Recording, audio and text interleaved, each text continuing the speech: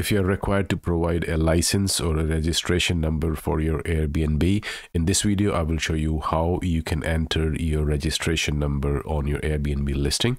Try and do this from a computer because it's not so easy to do it from the phone app.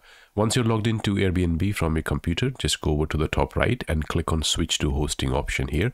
That will take you to the hosting dashboard and then click on a listings option in the top menu. And that will take you to the listing editor page. And here you need to click on this icon here next to the arrival guide. This is the settings icon. Click on here. And on the next page when you scroll down towards the bottom you will see this regulations option here click on regulations and on the right hand side you will see the registration option in my case my registration is complete so it is just showing me the number but if I wanted to change it or if you're entering a new registration number, you will see this add button here. So let me show you if I wanted to change my registration number, just click on show here.